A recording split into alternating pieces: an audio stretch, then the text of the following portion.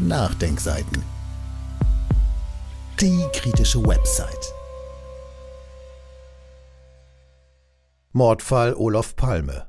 Ich gehe nicht davon aus, dass Stig Engström der Täter war. Von Markus Klöckner. Verantwortlich Redaktion. Christa Peterson präsentierte kein Ermittlungsergebnis, sondern einen politischen Schachzug, sagt der Autor Patrick Barb im Nachdenkseiten-Interview. Petersen ist der Generalstaatsanwalt, der den Mord an dem schwedischen Ministerpräsidenten Olof Palme neu untersucht hat. Gerade erst hat er auf einer Pressekonferenz die jahrelangen Ermittlungsergebnisse vorgestellt. In vielen Medienberichten heißt es, der Fall sei nun aufgeklärt. Ein ehemaliger Scandia-Mitarbeiter, der bereits verstorben ist, habe Palme 1986 erschossen. Patrick Barb, der zusammen mit dem Politikwissenschaftler und Rüstungsexperten Robert E. Harkavy am Fall Palme arbeitet, traf Patterson im Zuge seiner Recherchen.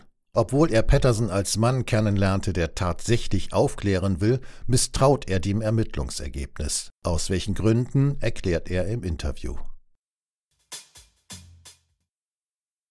Fall Olof Palme nach 34 Jahren gelöst. Der Mörder tarnte sich als Zeuge. Lautet die Schlagzeile beim Spiegel. Der Stern wählt die Überschrift Ermittler. Der Mord an Olof Palme ist aufgeklärt. Beim Deutschlandfunk heißt es entgegen Mordfall Olof Palme, ein Schlussstrich und kein Ende. Herr Barb, welche Schlagzeile ist denn nun korrekt? Am besten gefällt mir die Schlagzeile des Züricher Tagesanzeiger, ein Schlusspunkt, der keiner ist. Aber die des Deutschlandfunks, ein Schlussstrich und kein Ende, ist auch nicht schlecht. Beide Überschriften bringen das Dilemma des schwedischen Generalstaatsanwalts genau auf den Punkt. Insgesamt habe ich den Eindruck, dass der reagierende Journalismus geradezu darauf gewartet haben muss, die endlose Geschichte um den Mord an Olof Palme mit einem vermeintlichen Ermittlungsergebnis und einem mutmaßlichen Einzeltäter endlich zu den Akten legen zu können. Dagegen ist sich, soweit ich das wahrnehmen kann, der agierende und recherchierende Journalismus einig. Christa Patterson legte ein Ermittlungsergebnis vor, das keines ist. Und niemand weiß das besser als Christa Patterson selbst. Das müssen Sie uns erklären. Um das zu verstehen, lohnt es sich, die Pressekonferenz von Christa Patterson etwas näher zu betrachten. Wegen der Corona-Krise wurde sie per Skype und Zoom übertragen. Sie dauerte etwa zweieinhalb Stunden. Christa Patterson und sein Ermittlungsleiter Hans Melander zeigten eine PowerPoint-Präsentation. Jeder Journalist und jede Journalistin konnte nur eine Frage stellen. Beide lenkten den Blick auf den sogenannten Scandiamann Stick Engström, der längst verstorben ist. Und das ist falsch? Nein, das ist richtig und wichtig. Allerdings hätte es bereits 1986 geschehen müssen, denn Stig Engström ist im Zusammenhang mit dem Mord an Olof Palme eine wichtige Figur. Er war als Werbegrafiker bei Schwedens größtem Finanzdienstleister Skandia beschäftigt, vor dessen Sitz Palme erschossen wurde. Deshalb wird er als der Skandiamann bezeichnet? Genau, seiner Stechkarte zufolge hat er das Gebäude Sveavägen Nummer 44 genau um 23.21 Uhr verlassen. Später gab er an, nach ein paar Schritten habe er einen Schuss gehört und dann noch einen zweiten Knall. Er habe geholfen, das Opfer in Bauchlage zu bringen und habe mit Lisbeth Palme gesprochen. Nur wurden diese Angaben weder von Lisbeth Palme noch von anderen bestätigt. Stig Engström hatte einen Freund namens Willi Glaser, der in einer Wehrsportgruppe aktiv und Waffensammler war. In seiner Sammlung befand sich auch mindestens ein Revolver Kaliber 357 Magnum. Glaser führte ein Unternehmen, das Kunden in den USA und Israel hatte. Engström und Glaser dürften zu den Gegnern von Olof Palme gerechnet werden. Nun sagt Christa Pettersson, man habe diese Waffe Probe geschossen, es sei aber nicht mehr feststellbar, ob es sich um die Tatwaffe gehandelt habe. Damit präsentiert Christa Pettersson Bekanntes, aber keinen klaren technischen Beweis. Dennoch sagte er, man komme an Stig Engström nicht vorbei. Damit dreht er faktisch die Beweislast um und präsentiert einen Einzeltäter, den Skandiamann. In unserem letzten Interview zum Fall Olof Palme im August 2019 haben Sie gesagt, die aktuellen Ermittlungen zeigen, dass die Einzeltätertheorie in sich zusammenbreche. Der schwedische Chefermittler denkt an eine professionelle militärisch ausgebildete Tätergruppe, möglicherweise militärische Spezialkräfte, so schlussfolgerten sie damals. Nun sind die Ermittlungen abgeschlossen, der ermittelnde Staatsanwalt hat aber einen Einzeltäter präsentiert. Ist das für Sie nachvollziehbar? Derzeit sehe ich keinen Grund, meine Wertschätzung für Christa Patterson zu schmälern. Ebenso wenig sehe ich einen Anlass, das Rechercheergebnis von Robert E. Harkaway und mir zu korrigieren. Es lief darauf hinaus, dass der Mord an Olof Palme eine gemeinsame Operation von CIA, südafrikanischem Geheimdienst und dem schwedischen Arm der NATO-Geheimarmee Stay Behind war.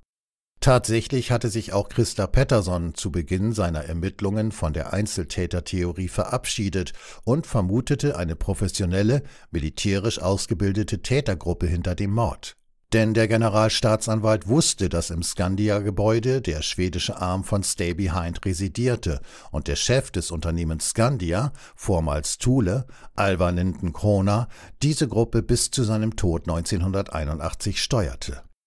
Dass Stay Behind im neutralen Schweden aktiv war, ist nun keine Verschwörungstheorie, um ein Wort aus dem Vokabelkasten journalistischer Ja-Sager zu verwenden, sondern steht in den Memoiren des früheren CIA-Direktors William Colby, der die schwedische Stay Behind-Organisation nach dem Zweiten Weltkrieg aufgebaut hat.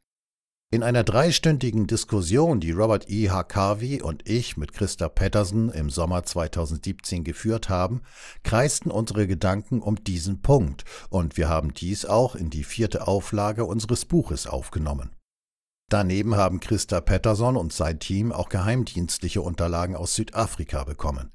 Der abschließende Ermittlungsbericht liegt mir noch nicht vor, aber sie scheinen in die Gesamtbewertung keinen Eingang gefunden zu haben. Christa Pettersson erklärte dazu auf der Pressekonferenz, man habe auch untersucht, ob Stig Engström Teil einer Gruppe gewesen sei, denn damals habe es Geheimgruppierungen gegeben. Zwar habe niemand darüber Auskunft geben wollen, aber er könne nicht ausschließen, dass Engström Teil einer Verschwörung war oder Mittäter hatte. Sie haben viel zum Fall Olof Palme recherchiert. Wie ordnen Sie Engström ein? Anders gefragt, kann er tatsächlich der Mörder gewesen sein? Stig Engström tauchte am Tatort auf. Seine genaue Rolle ist bis heute ungeklärt. Er selbst kann nicht mehr befragt werden, weil er seit langem tot ist. Er war jedoch waffennah, Palme-Hasser und lebte im Stockholmer Stadtteil Täby unter Freunden, die durchaus eine Waffe schweren Kalibers wie die Tatwaffe hätten besorgen können. Nach dem Mord stellte sich heraus, dass der Hintereingang des Skandia-Gebäudes nicht abgeschlossen und die Überwachungskamera ausgeschaltet war. Er arbeitete im Skandia-Gebäude, wo auch das Stockholmer Hauptquartier von Stay Behind zu finden war, bei jenem Finanzdienstleister, dessen Chef dieser Gruppe angehörte. Es gibt Hinweise darauf, dass dort auch die CIA zur Tatzeit aktiv war. Deshalb geht der schwedische Journalist und Buchautor Lars Borgness davon aus, dass Stig Enström an einer Überwachungsoperation der Säpö oder einer Stay-Behind-Gruppe teilgenommen hat, die mit dem Mord an Olof Palme in Zusammenhang steht. Dies habe von den Ermittlern nicht publik gemacht werden dürfen, weil es den Mordverdacht auf die Sicherheitskräfte selbst gelenkt hätte. Mich überzeugt das Ergebnis nicht, dass Stig Engström der Mörder war. Er hat wenig Ähnlichkeit mit dem Phantombild und er war offensichtlich nicht jener Mann, der die Stufen des Tunnelgatan hinauflief und verschwand. Und wie soll ein Einzeltäter gewusst haben, dass Olof und Lisbeth genau vor dem Skandia-Gebäude entlanglaufen, ohne Begleitschutz? Diese Entscheidung wurde ja erst kurz nach dem Kinobesuch gegen 23.10 Uhr gefällt. Wie passen zu diesem Ermittlungsergebnis die zahlreichen Männer mit Funkgeräten wie Antti Afsan, die in der Tatnacht in der Innenstadt von Stockholm gesehen wurden? Und wie passt zu einem Sonntagsschützen ein Schuss durchs Rückenmark, der den sofortigen Tod herbeiführt?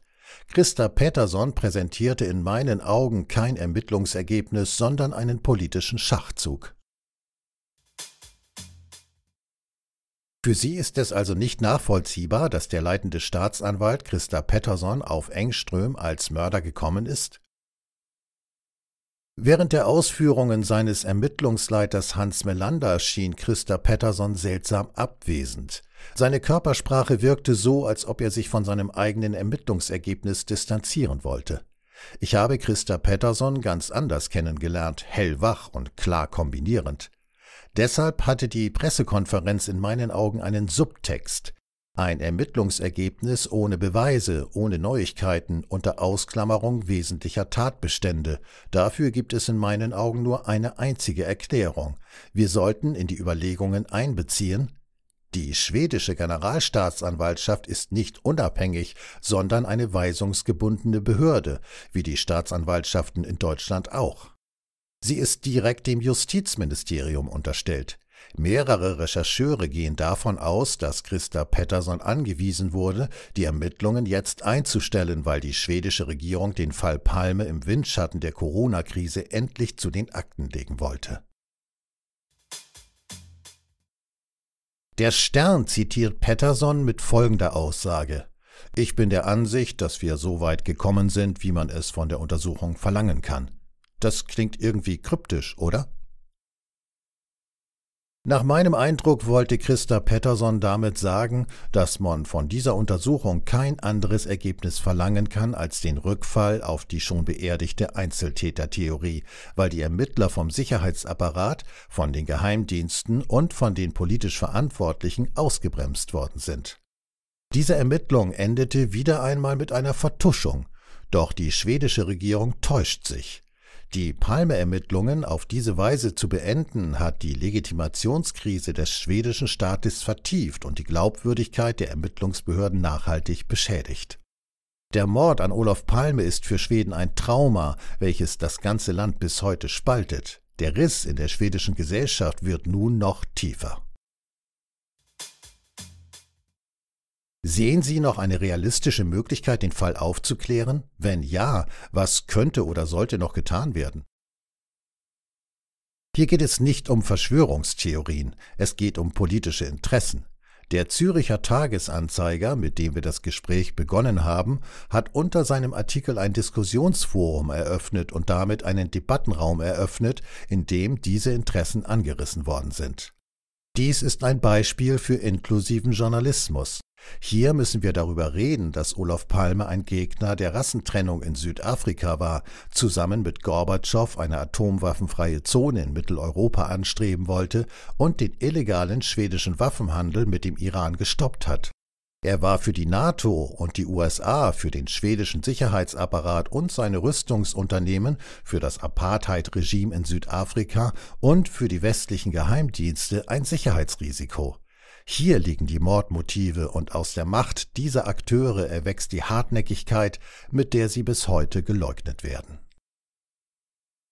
Lesetipp Vierte und aktualisierte Ausgabe Im Spinnennetz der Geheimdienste Warum wurden Olof Palme, Uwe Barschel und William Colby ermordet?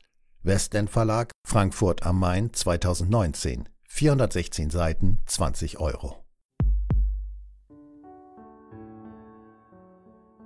Dieses Audio konnte nur entstehen, weil zahlreiche Leser und Leserinnen die Nachdenkseiten fördern und durch Spenden unterstützen. Wenn Sie auch etwas tun wollen, klicken Sie einfach den entsprechenden Button auf unserer Website an. Übrigens, Sie können uns auch bei iTunes, SoundCloud und YouTube hören und wenn Sie mögen, gerne unseren Kanal abonnieren und eine positive Bewertung für uns abgeben. Wir freuen uns über Ihre Unterstützung und die Weiterverbreitung unserer Inhalte.